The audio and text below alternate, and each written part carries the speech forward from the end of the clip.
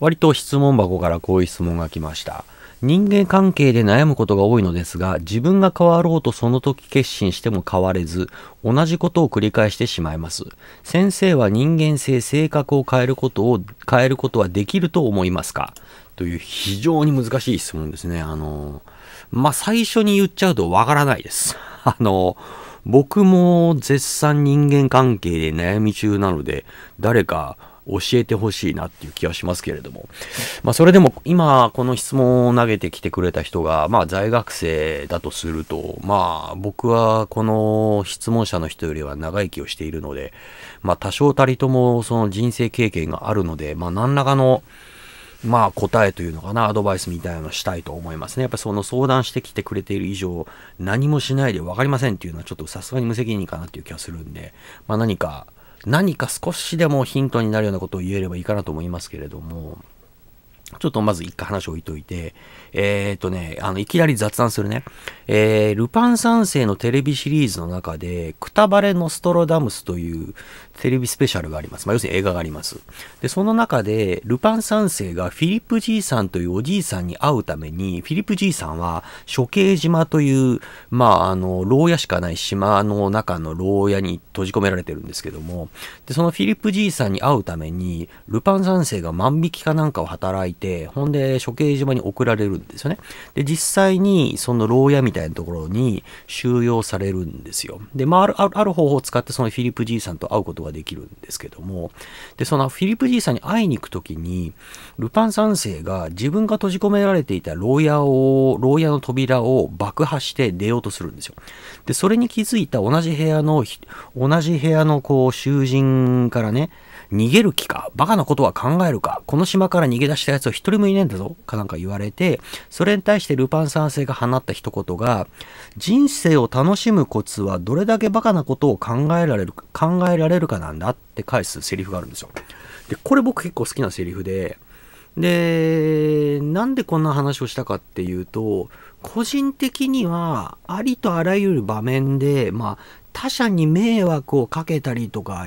道徳的にとか法律的に問題がない限りにおいては、人生を楽しくすることをどうすれば楽しくできるかってことを結構優先的に考えた方がいいんじゃないかなって僕は思ってるんですね、常日頃。だから仕事においてもこうした方が楽しい、人間関係においてもこうした方が楽しくなるだろうっていうのは一つの基準として僕の中にはあるんですよ。だからルバン先生は今のセリフの中ではどれだけバカなことをするかっていうことを言うけども、まあ、バカなことっていうのを、まあ少しこう、なんていうの、あの、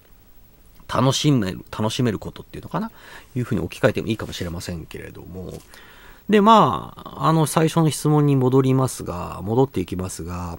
えっ、ー、と、東大の名誉教授で解剖学者の養老孟司っていう人がいて、この人 YouTube のチャンネルもやってますけれども、この人はね、結構よく言うのが、他人を変えるよりも自分を変える方が簡単だから自分を変えなさいみたいなことをよく言うんですよ。なんかその、いろんなところの講演であったり、なんか悩み相談みたいな中で、まあ、他人を変えるよりも自分を変える方がいいと。だから養老孟司が夫婦喧嘩みたいになった時に奥さんを説得して奥さんの考え方を変えるよりも自分が折れて自分の考え方を変えた方が簡単だしその方が夫婦円満に行くみたいなこと言うんですよ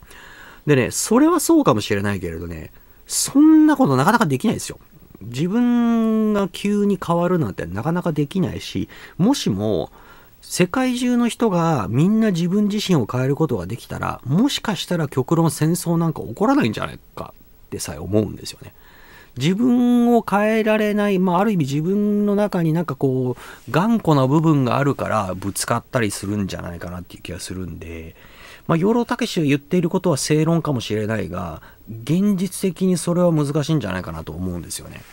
じゃあどうするかって話だと思うんですけども、まあその人間関係で悩むっていう時の、まあ悩みっていろんな形があると思うんですよね。例えば、だからこの、この相談者の人がしてきて、あの、悩んでいるのが、僕が今から話そうとしている2つのうちのどっちか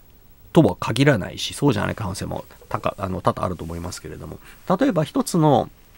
悩みとして、昔この質問質問箱からも来た気がするけれども、なんか、あの、いつもマウント取ってくる人がいます。なんか、ストレスなんでどうしたらいいですかみたいな感じのものありましたけれども、まあ、あの、そういう人いますよね。マウントを取ろう、取ってきて、こっちが逃げようとすると、どんどんどんどん上から、なんかさらにこう締め付けてくるっていうか、抑え込んでくるみたいな人いますけれども、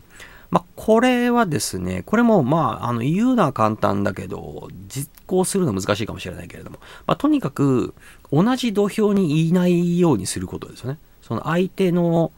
相手と同じリングにいない、相手と同じ土俵にいないことですよね。同じリング、同じ土俵にいる限り、まあ相手はマウントを取ろうとしてくるでしょうから、まあ多少乱暴なやり方であっても、多少こちらに一時的にストレスがかかるとしても、まあその土俵、そのマウンド、そのリングを早く、ん？マウンドとかしいな。そのリング、土俵を、えー、少しでも早く降りることだと思うんですよ。で、それ例えば、あの、一時的にこっちにストレスがかかるかもしれないっていうのは、まあ、相手が言ってることに反発すると、相手はさらにマウント取ってくると思うので、まあ、ある時、まあ、そうだよね、あなたすごいね、みたいなことを言って、まあ、こう、あの、棒読みじゃない程度に、すごいね、あなた、さすがだね、みたいな感じの、わざとらしくじゃなくて、もうちょい、もうちょい自然な感じで言って、で、まあ、要するにマウント取ってくる人っていうのはある程度承認欲求みたいな部分だと思うんですよね。だからまあ承認、まああの仮に承認してあげる。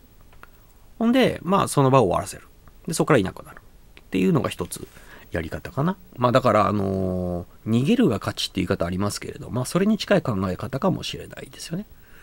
で、まあ、マウントを取るんじゃなくて、あの、なんか嫌味を言ってくるっていうタイプを見ると思うんですよね。嫌味とか悪口とかなんかそんな感じのこと言ってくる人もいると思うんですけれども。で、そういう人って、得てしてこう、こちら側の努力とか苦労なんか一切考えないで、あの、知らないで言ってきたりするんで、なおさら腹が立ったりすると思うんですけれども。